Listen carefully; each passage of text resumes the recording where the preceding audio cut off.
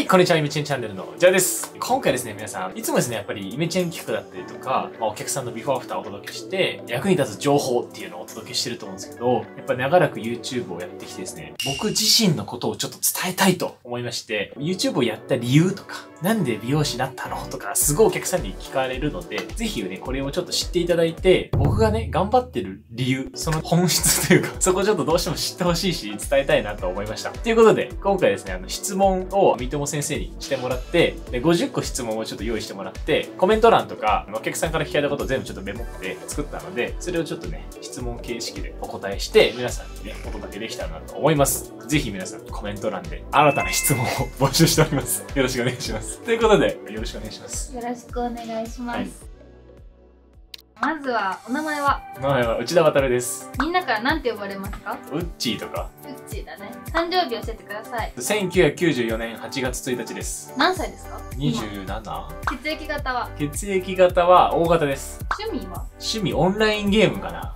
ガンダム好きなんでね。ガンダムのゲームをよくボイスチャットつないでやってます。好きな食べ物魚。魚の中でも？魚の中でも貝類。魚じゃない。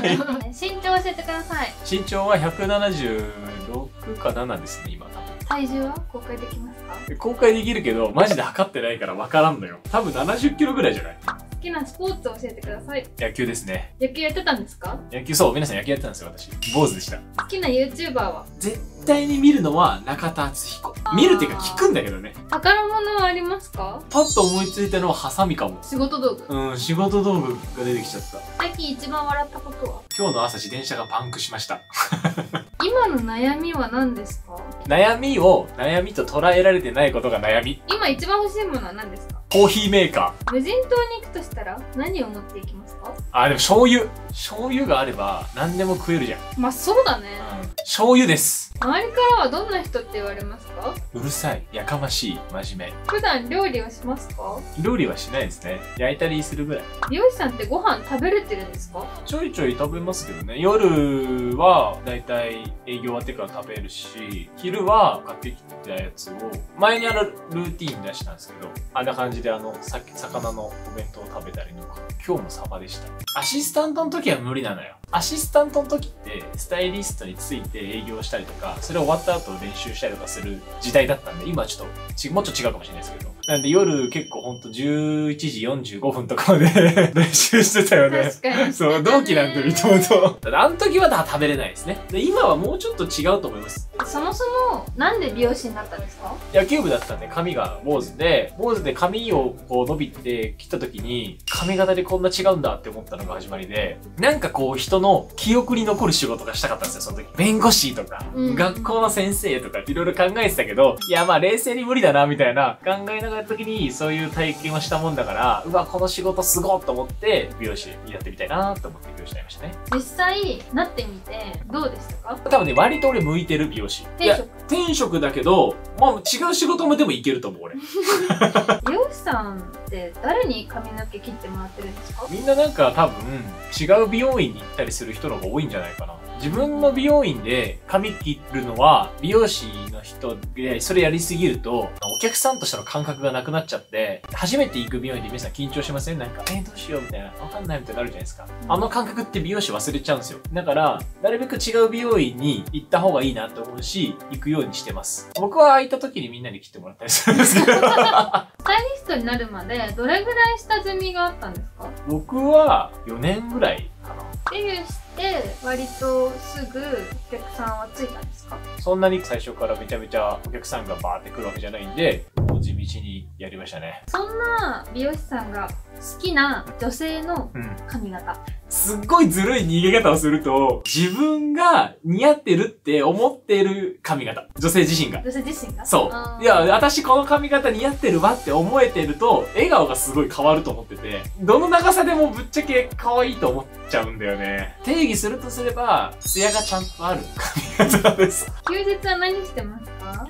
休日は、ほぼ仕事してるんだよな。ほぼ仕事でお休みはどのぐらいありますか？お休み週2でありますけど、結局仕事してる気がするな。なんでそんなに頑張れるんですか？えーやりたいことがあるんですよね。紙を通じて人生を変えるっていうのが僕のミッションなんで、人の人生を紙を通じて変えれるようなものをね、作りたいんですよ。でそのために、いろいろ今事業をやってるんですけど、最終的に球団を買いたくて、プロ野球の球団を買いたいんですよ。で、これあの、ちょっとマジで意味わかんないと思うんですけど、野球ってなんかすごい坊主で芋っぽいみたいなイメージがあると思うんですけど、これを、まあ、買うというか、まあ、プロデュースでも何でもいいんですけど、介入して、ちょっとこう、おしゃれなイメージにしていきたいとか、今、新庄さんがやってるような、ちょっと今っぽい感じに、こうやって、自分も野球やってたんで、あ、こういう形で紙を通じて人生変えれるなって思ってるんで、そういったことをちょっと今後していきたいので、まあ、いろんな事業をやってる。多分ホームページとか見てくださった方気になってる人もいると思うんですけど、うん、内田さんが所属してる千住チーム、うん、千住ってどういう意味ですか？千住は千住観音のあれと一緒で要はいろんな人にそれぞれの救いの手を差し伸べたいよねっていうところから千住観音の千住。線の手なんですね。だから、まあ僕以外にもすごいいろんなメンバーがいるんですけど、それぞれライターの人がいたりとか、マーケーターの人がいたりとか、美容師がいたりとかっていろんなこう職種の人がいて、協力していただいて、僕らの事業を一緒にこうやっていくですね。なんかこんだけ YouTube やってたはいら一人でもやっていけそうじゃん、あもちろんね、それはよく言われる、お店出さないんですかとか言われるんですけど、お店出すのも一つの手段だと思ってるんで、お店出して独立してってゴールって皆さん捉えがちなんですけど、個人的にはお店出すのは手段なんで、その手段は僕は取らないってだけですね。なんでじゃああえてこうみんなでやるっていうことを選んだんですか？いやもうシンプルに、僕結構こう見えてできないこと結構あるんですよ。なんで、できないことをみんなで協力して、僕しかできないこともあるし、僕ができないこともあるんで、そう、だから、チームでやった方が絶対いいと思ってて、いや、一人でやった方が、いろいろお金の面とかいいかもしれないけど、いや、別にそこじゃないよね、みたいな、っていう感じですね。ぶっちゃけ最高月収はうわー、それ来るの？リンゴ1万個ぐらいわかんないけど。で 最近うん買った一番高いもの靴最近ね、結婚式用に、オールデンっていう革靴、有名な革靴を買いました。これが15万円でした。これよりは多い。何をしている時が一番幸せを感じますか？いやーもう犬だね。ワンちゃんを見るときだね。飼ってますか？飼ってないんですけど、犬がね、ここにいたら、もう多分一番幸せ。犬飼おう決めました。犬飼います。今どのぐらい幸せですか？98ぐらい。結構幸せ。いや十分頑張れてると思うどんな時にうわー幸せだなーって感じます二度寝する瞬間が一番幸せ。以上。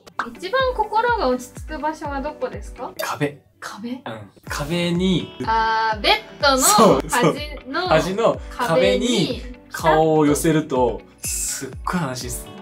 一日どんぐらい寝ますか？まあ89ぐらいは全然寝ますね。1日が25時間だったとしたら残り1時間は何に使う1時間余分にあるならもう多分本読むね。何系の本読みますか？ライトノベル以外とすっごい長い小説以外は大体何でも読む。と思、う、あとは大体ビジネス系の本とかやっぱりそっちとか。もし1日人間以外の何かになれるなら何になる？犬だよ。今一番感謝したい相手は誰ですか？ベタだけど、両親になっちゃうんだよな、結局。美容師になるのめっちゃ反対してたから、それを押し切って美容師になったんで、美容師を反対されないと多分頑張んなかったと思うんですよね。だから、そういう意味では、反対をしてくれたのが良かったっていうか、俺のことを考えたがゆえに多分反対したと思うんで、その思いが超える熱量をね、作り出したと思うんでね。何がそんなにこう反対する理由だったの？父親は結構国立大学に行きなさい的な感じのタイプなんで、母親は結構いいよって感じなんですよね。急に言い出したもんだからね。その脈絡がないから、昔からケーキ屋さんになりたいのじゃなかったから、髪を初めて 切って、うわ、この仕事やば、やりたいって思ってるから、それはそうよね。兄弟はいますか？一人っ子です。じゃあ最後の質問です、はい。今後の目標を教えてください今後の目標は、YouTube は、やっぱり皆さんにお届けしたいものなので、YouTube のチャンネル登録者数を2024年までに25万人。あわよくば50万人みたいな感じです。でもなんか登録者数って、なんか測るものがないから言ってるだけで、それに準ずる再生が取れたりとか、リアクションが得られればいいなとは思っておりますね。あとは今いろんな各地に大阪だったりとか、北海道とか、池袋とか、京都とかにうちの千住チームの、ね、店舗があるんで、そこに一緒に取材に行ったりとかして、現地のお客さんをきれいにしたりするようなことも考えてるんで、そういった企画をまずは成功させて、やっぱ僕髪を通じて人生を変えるっていうのが、やっぱ YouTube を始めたのもそれがきっかけなんだよね。動画見て、実際に僕髪切らなくても、変わる情報がお届けできたらええやんと思って YouTube 始めてるところもあるんで、なるほど。現地に行っちゃえばいいじゃんと思って、だから動画を通じて知り合えた人と現地に行って髪を切るというね、こう本質に沿った気持ちいいよね。これはもう、美容師冥利に尽きるね。いい循環だね。そうなのよ。それが目標です。短期でいくと。はい、以上でございます。ありがとうございました。ありがとうございました。多分サムネには50の質問って書いてあるんですけど、何個質問かあったかちょっと覚えてないんですけど、ね、あの皆さん他にも聞きたいことあったらコメント欄で教えてください。僕のチャンネルではこんな感じで髪とか美容のイメージをチェンジする内容っていうのを発信しておりますので、ぜひ皆さんチャンネル登録と高評価もよろしくお願いします。ぜひね、皆さん25万人目指すための清き一票よろしくお願いします。では動画の動画でお会いしましょう。バイバイ。